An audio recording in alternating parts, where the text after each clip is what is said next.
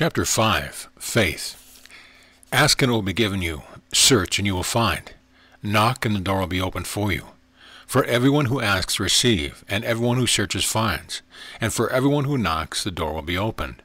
Jesus. What could Jesus have meant when, speaking as one having authority, he made such a sweeping and to the poor human mind almost incomprehensible statement as that quoted above? We pray, we ask, believing that we are going to receive, but we receive not. Again and again this happens until we grow sick and our courage fails because of our unanswered prayers, and we begin to say, God does not answer. I don't have sufficient faith or the right kind of faith. Because of repeated failures, we are benumbed, and though we still pray, we seldom expect an answer. Is not this so? Where is the trouble? Many Christians mistake hope for faith. Hope expects an answer sometime in the future. Faith takes it as having already been given. Hope looks forward. Faith declares that she has received even before there is the slightest visible evidence. Our way is to declare something done after it has become obvious to the senses. God's way is to declare done before there is anything whatever in sight. God calls into existence the things that do not exist. Romans 4:17. This declaring it is finished, when there is still no visible evidence, has power to bring the desired object into visibility. The worlds were prepared by the Word of God, God's declaring that it was done, so that what is seen was made from things that are not visible. That is, things that are seen were not made of visible, but of invisible substance by the spoken Word of God. If we expect anything from God, we must conform to His way of working.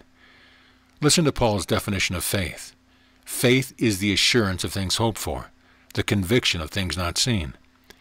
In other words, faith takes right hold of the invisible substance of the things desired and brings it into the world of evidence or visibility of the things that before were not seen. There is but one substance from which the real of all things is made. This substance is ever present but invisible. It is all around us and fills the universe as the atmosphere we breathe covers the earth. In it we live and move and have our being, for it is the divine presence or substance. It is the unseen, but real and eternal, that always stands under and within the seen but temporal. Faith upon which depends all answers to prayer is not, as many earnest, sincere people suppose, a sort of will-o'-the-wisp mental condition that is difficult to catch and hold. If this were so, the child of God might well despair. But there is a faith that might be called understanding faith, that is based upon principles as unerring as those of mathematics. It was of this faith that the man of Galilee spoke when he said, All things can be done for the one who believes. Jesus invariably spoke as one having authority. He had proved that wherever he spoke, and he knew positively. He knew that all God's dealing with man were based upon an immutable law. A law that, if complied with, is bound from its very nature to work out certain results, no matter who or what manner of man it is that complies with the law. He never went into detail as to how or why God's law worked, but positively, in a few concise words, he spoke the law and left the working of it to be proved by whosoever will. What is this understanding faith upon which the literal fulfillment of all God's promises rest? There are some things which God has so indissolubly joined together that it is impossible for even him to put them asunder. They are bound together by fixed immutable laws. If we have one of them, we must have the other. This must be illustrated by the laws of geometry. For instance, the sum of the interior angle of a triangle is equal to two right angles. No matter how large or small a triangle, no matter where we find it or who finds it, if we are asked the sum of its angles, we can unhesitatingly answer that it is just two right angles. This is absolutely certain. It is certain even before the triangle is drawn by visible lines. We can know it beforehand, because it is based on unchangeable laws on the truth or reality of the thing. It was true just as much before anyone recognized it as it is today. Our knowing it or not knowing it does not change the fact. Only in proportion as we come to know it as an eternally true fact can we be benefited by it. It is a simple fact that 1 plus 1 equals 2. It is an eternal truth. You cannot put 1 and 1 together without 2 resulting. You may believe it or not, that does not alter the fact. But unless you do put the one and one together, you do not produce the two, for each is eternally dependent on the other. The world of spiritual things is governed by law just as unalterable and unfailing as is the law governing the natural world. The so-called supernatural is not beyond law by virtue of being above natural law. It is simply the working of a higher law than any that we, with our limited understanding, have heretofore known. And it is because it operates in a higher realm that we have not understood. When we come into harmony with this higher law, we instantly have all the power of God working with us for the very thing we pray for and we get it. Sometimes a soul comes into this harmony by childlike intuition, and he receives answer to a prayer. But we can know the law and put ourselves consciously in harmony with it. The promises of God are certain, eternal, unchangeable truth that always have been and always must be, whether in this age or another, whether on the mountain top or under the sea. A promise according to Webster's dictionary gives reason to expect something. It is a declaration that gives to the person to whom it is made the right to expect, to claim the performance of whatever is promised. God has bound himself to his children by promises innumerable, and he has magnified his word above all his name. I bow down toward your holy temple, and give thanks to your name for your steadfast love and your faithfulness. For you have exalted your name and your word above everything. Psalm 138:2. When God made a promise to Abraham, because he had no one greater by whom to swear, he swore by himself. Human beings, of course, swear by someone greater than themselves. And an oath given as confirmation puts an end to all dispute.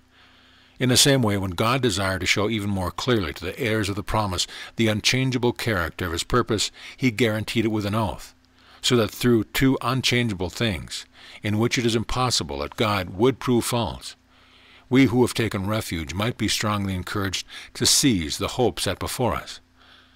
God is our all-sufficiency in all things. He is the infinite supply, above all that we ask or think, of all that the finite creature can possibly need or desire. The promises are already given. The supply, though unseen by mortal eyes, is at hand. Before they call, I will answer. Isaiah 65:24. My God will fully satisfy every need of yours according to his riches and glory. But he that cometh to God must believe that he is, and that he is a rewarder, and the reward is well of them that diligently seek him. Here are the two fundamental principles of which rests the whole secret of understanding faith. First, the supply forever awaits demand. Second, the demand must be made before the supply can come forth to fill it. To recognize these two statements as truth and affirm them persistently is to comply with the law of God's giving. Faith has nothing to do with visible circumstance. The moment one considers circumstance, one lets go of faith. When Jesus recognized the unchangeable fact that the supply of every want awaits just at hand, though unseen, and said, Everyone who asks receive, he was simply stating a truth as unalterable as that of cause and effect. He knew that there need be no coaxing or pleading, for God has answered before we ask. Whatever you ask for in prayer, believe that you have received it and it will be yours. Believe that you have received it, present tense. Ah, this is the hard part. Believe that you will receive them. Yes, this is easier. But to say a thing is done when there is no sign of it anywhere, can we do this? Yes, we can, and we must if we would obtain an answer to our prayer.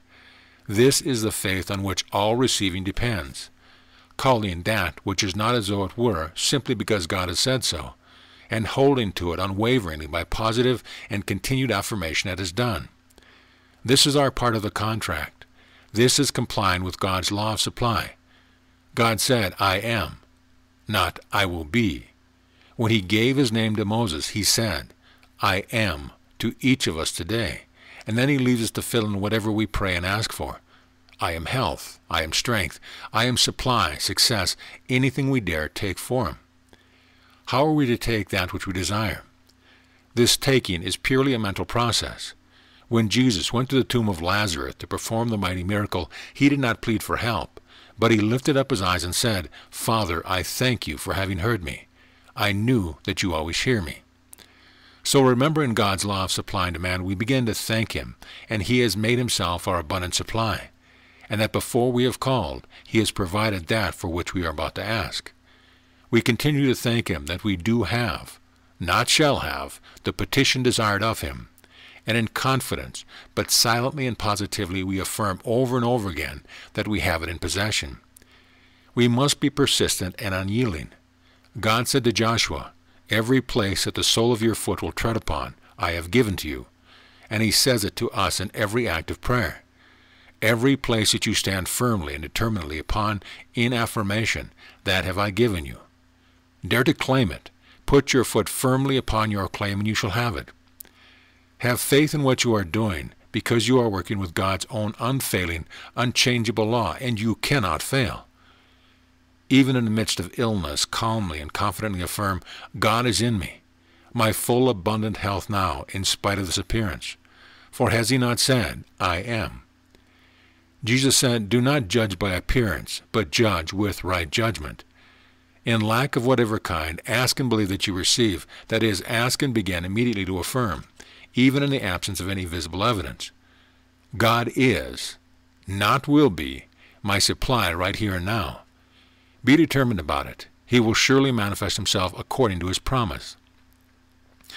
Whatever you ask for in prayer is the only stipulation governing the relationship between us and his I am.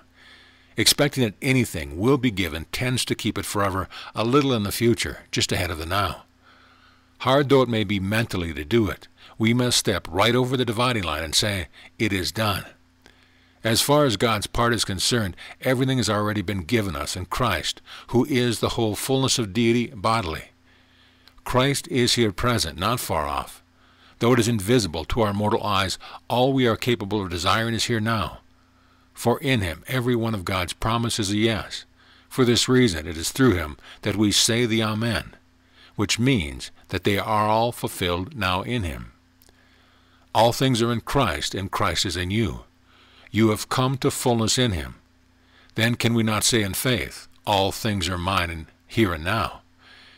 Persistent, unwavering affirmation that it is done and is made visible now brings into manifestation whatever one asks for or desires. End of chapter.